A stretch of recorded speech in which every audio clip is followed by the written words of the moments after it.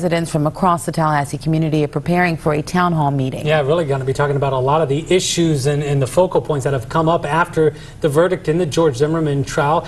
Our Brittany Jones is live for us now from the Palmer Munroe Teen Center in Tallahassee, where that meeting is going to be getting underway in, in about an hour. And, and Brittany, exactly how are these discussions going to be shaped tonight?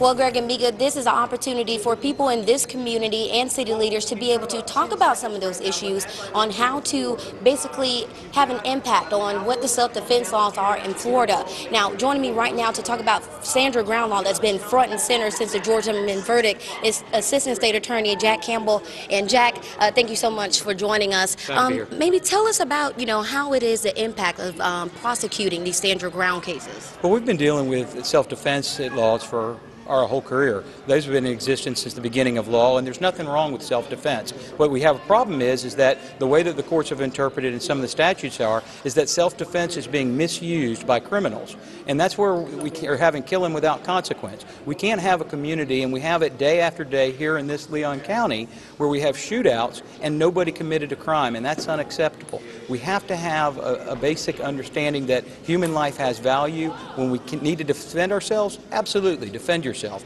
But at the same time, we don't want drug dealers and gang fighters and those who would be uh, just going out and trying to hurt each other for the sake of hurting each other to be able to do so with impunity. We can't have burials of these children out in their streets without consequence. And the state's position is is that it's been able to be abused.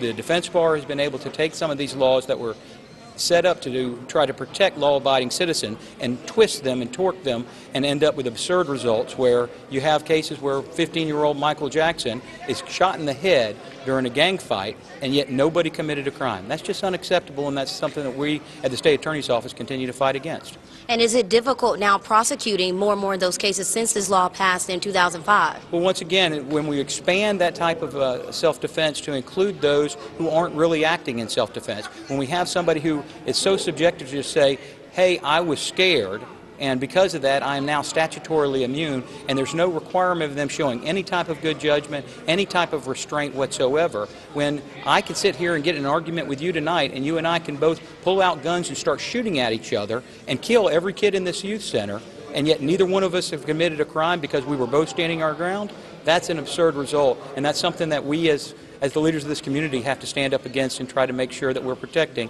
because there are people out in their community who will get involved in these criminal acts and the truth is it's going to end up with these continued having these innocent bystanders injured and killed and it's going to be under the, the guise of self-defense when it's really just people being criminals.